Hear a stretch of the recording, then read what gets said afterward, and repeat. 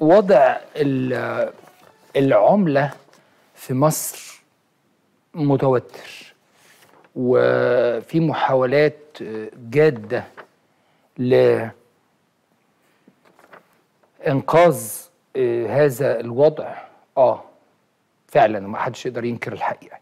وكل خبراء السياسات المالية بيقولوا في اللغة العربية يقدحون زناد فكرهم يعني عصرين مخهم وليل نهار بيحاولوا يشتغلوا عشان نوصل لفكرة إنه أقل تأثر ممكن بموضوع الدولار. ووصل الأمر زي ما شفنا امبارح من أستاذ عبد العزيز سيد رئيس شعبة الثروة الداجنة بالغرفة التجارية وعضو اللجنة الرئاسية لنفس الموضوع وعضو اللجنة الوزارية آه، في أيضا الثروة الداجنة إنه بدأ بالفعل ما كنا نصبو إليه. بس إحنا برضو عايز أقول لكم حاجة مهمة. عارفين المثل ال- ال- البلدي اللي بيقول ما يعرفش يقول عدس؟ إحنا نقول طب ما نتبادل الحاجات بال- بالروبل وبالين وباليوان أو نتبادل زي زمان المقايضة ناخد منك سكر وتاخد مني زيت ومش لازم عملة أصلا والعملة اللي طلعوها لنا وخنقونا بيها يشربوها. بس إزاي ده يحصل؟ وازاي يكون مقبول في دوائر الاستثمار الدولية وازاي تقنع المستثمر الأجنبي المباشر إحنا إحنا كل إنقاذنا مبني ومرمي على الاستثمار الأجنبي الحر المباشر. ده اللي بيبان فرق العملة عندك على أثره مباشرة وبيعدل لك الميزان. إزاي تقنعه وتقول له كده؟ إزاي تقول له الدولار اللي انت بقى لا انساه بقى اللي بقاله مئات السنين ده هو ال- ال- العملة واللي أصبح هو المتحكم في أسواق المال وفي البنوك وفي شبكات التقييم الائتماني وفي كل ده. لكن هناك محاولات آه هناك محاولات. سننتصر بإذن الله سننتصر. لا شك عندي لحظة. إن البلد دي هتقوم لقدام زي ما هي قامت دلوقتي وأحسن بكتير جدا جدا. مش هقول من 11 ل 14 الفترة الصعبة جدا اللي عدت بيها أحسن من 10 و9 و8 إن شاء الله هتفضل دايما أحسن وأحسن. لكن بس عاوزين نفكر أكتر وعايزين نعرض سياسات أكتر وعايزين نقترح حلول أفضل وعايزين دايما نبقى في آه، معترك مستمر هو ده البحث العلمي. في شغلتنا هو ده البحث العلمي. أنا امبارح قلت لكم في بداية الحلقة وما كنتش قابلت أستاذ عبد العزيز اطلاقا. يعني قبل ما أتكلم يعني. كنت طبعا اتشرفت باستضافته مرة قبل كده من عدة أشهر برضه في نفس الأزمة. لكن في بداية الحلقة قلت لكم إحنا بنحاول أن نقترح على صانع القرار بعض الحلول. أول كلمة قالها الراجل في اللقاء هو ده.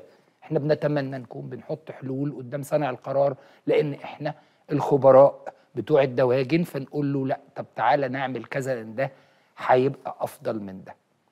نتمنى إنه ال- الكلام اللي بعض خبراء الاقتصاد والسياسة المالية بيقولوه إنه الدولار يستمر ارتفاعه ل 34 نتمنى انه هو ما يحصلش ونتمنى إنه مش بس يقف بقى عن عند هذا الحد اللي إحنا فيه إحنا وصلنا 29 ونص تقريبا النهارده الصبح نتراجع بقى. امبارح كان معانا برضو خبير اقتصادي قال جمله لطيفة قوي. قال لك السعر العادل هو 24 24 ونص. اذا سنعود لهذا السعر بعد اضطراب متوقع وفوضى منطقية جدا بعد التعويم الأخير والإضطرار لامتصاص التضخم الحادث بالشهادات اللي هي ال 25% آه، الاستثمار هل البيئة مهيئة مصريا وإقليميا ودوليا ما هو كمان المستثمر عنده مشاكله. يعني النهاردة كنت بتناقش مع أحد الأصدقاء في مسألة إنه في دول في المنطقة حوالينا بتساعدنا وبتساعدنا كويس وبتساعدنا قوي وبتقدر جدا إن مصر هتقوم وهترجع زي زمان و... وده يعني في مصلحتها مصلحتها أمنيا واستراتيجيا وسياسيا. لكن برضه قال لي جملة جميلة قال لي ما هو كمان برضه هو كمان عنده سياساته وعنده استثماراته وعنده طموحاته وعنده أحلامه. هو كمان عايز يعمل سياحة هو كمان عايز يعمل مصانع. فمش هيبقى سعيد قوي يعني وهو عمال يوسع لك في اقتصادك. هي الحكاية أنت هتنقذ الدولار إزاي؟ ما أنت هتجيب دولار بقى زيادة تحط وديعة تعمل مصانع تعمل سياحة. وكل بلد وليها حساباتها. إحنا النهارده هنتكلم عن آه، يعني هذا ال- الملف ال- ال- الحرج في لحظات بجد حرجة وهو ملف الاستثمار وبالذات آه، الاستثمار الأجنبي الحر المباشر اللي فيه آه، حلول كتير لمشاكل الاقتصاد في مصر. هيشرفنا النهارده عبر تقنية زوم دكتور محمد الشواتفي أستاذ الإدارة والاستثمار والعميد السابق لكلية التجارة جامعة الزقازيق. عايز أقول لكم إنه يعني ما حدش يزعل مني لما أقول أنا سعيد بما نحن فيه مش سعيد بغلاء الأسعار مش سعيد بحرب روسيا الغرب مش سعيد بتوقف سلاسل التوريد والإمداد وغلاء الدولار هذا الغ- الغلاء الفاحش لكن أنا سعيد إننا بدأنا نفكر وعندي ثقة كبيرة إن إحنا هنمشي على كده على طول، اللي بيبتدي, يفكر وبيتعلم يفكر وبيلاقي الحل عن طريق التفكير عمره ما بيتوقف عن هذا النشاط الإنساني الرائع اللي خلقه فينا ربنا، إن إحنا نفكر في حلول طول الوقت مش أول بقى ما لا نهدى ونستقر عشان الأزمة عدت.